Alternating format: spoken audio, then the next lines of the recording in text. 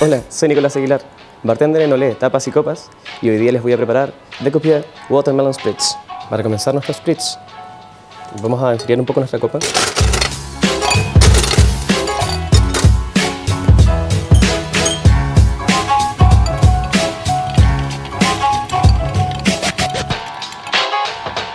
Y remo- removemos el exceso de agua. Partimos entonces con 60 ml de licor de copiar de sandía. Agregamos hielo para cargar nuestra copa. Y agregamos espumante bruto. Esto va a hacer que nuestra mezcla se sienta.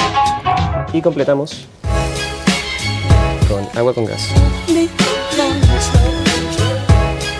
para expandir un poco más la burbuja. Es un cóctel en extremo refrescante.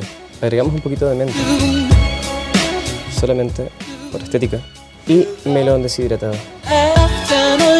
De copiar Watermelon Spritz.